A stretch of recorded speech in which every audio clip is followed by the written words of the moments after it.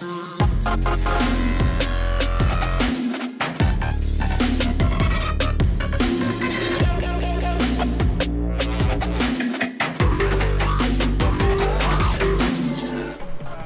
up YouTube, Alien Rides here, and today we are going to look at one of the most polarizing electric scooters of 2019. We're going to look at the Boosted Rev electric scooter. I say polarizing because Boosted is a company who's well known for making quality electric skateboards. They've recently released an electric scooter though, and a lot of their core fans are not too happy about this. They'd rather the company be working on higher range and faster electric skateboards, but I think they wanted a piece of the growing electric scooter market. So we're here at the b8ta store today and they're doing a little event. I'm not like a huge YouTuber or anything, so I don't have the clout to get into the early release launches yet, but we're just gonna check it out at this open event, go on a little ride, and check out the scooter. Subscribe and let's ride.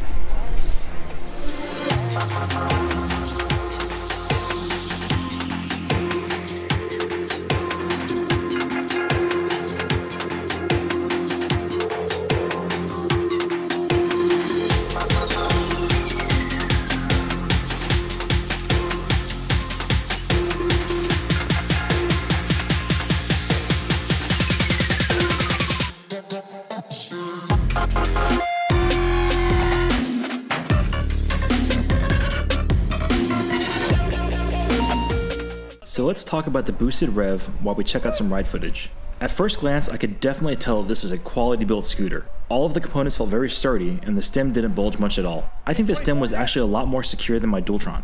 The throttle wheel is extremely innovative, and it's impressive to me because you don't see a lot of innovation in this area. I do feel that there's just too many ways to brake though. With the boosted rev, the braking methods are innovative, but it might be overkill for this scooter. On the rev, you can pull back on the throttle control, use the disc brake lever, or use the rear foot friction braking. For something as critical as braking, I'm just not convinced that more options are better. When I'm riding my high powered electric scooter, all I have to do is hit the throttle and brake levers when needed. Surprisingly, the scooter did not come with any suspension whatsoever. I thought it was going to be a really bumpy ride, but actually the tires did a fairly decent job at soaking up the smaller bumps on the road. I would personally still seek out a scooter with suspension though. Is it maxed out?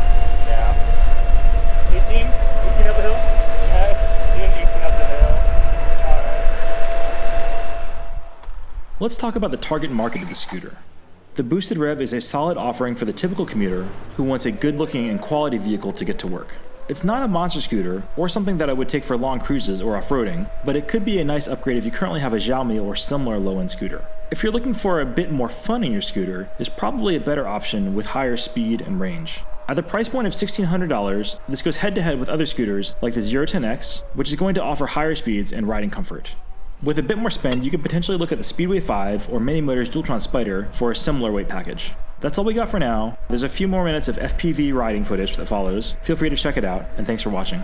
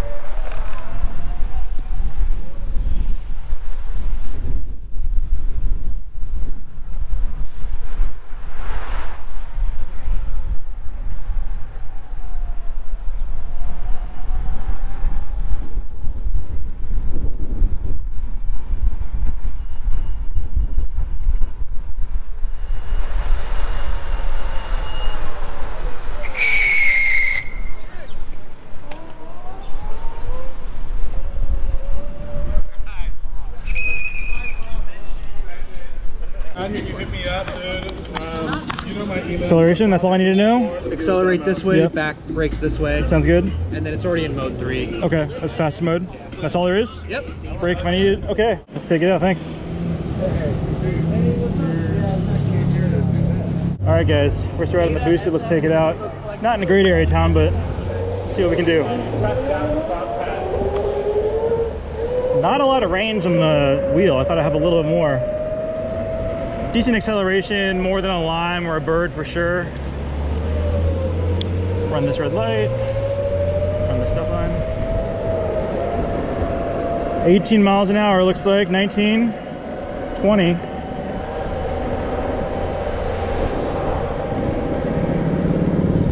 the handlebars are really stiff they feel really good really stable 23 24 looks like we're gonna hit 24 so slide uphill here brakes are really smooth if i need The wheel is nice. I like the wheel.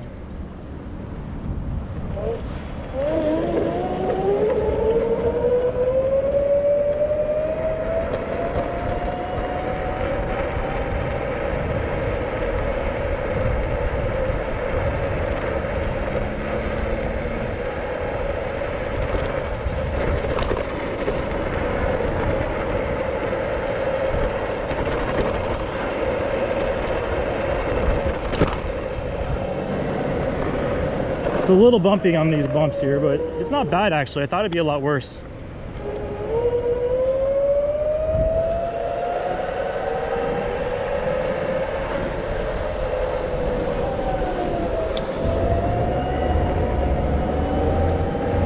I keep forgetting to go the other way on the wheel just because I'm used to my Dualtron, but I try to remember to do that.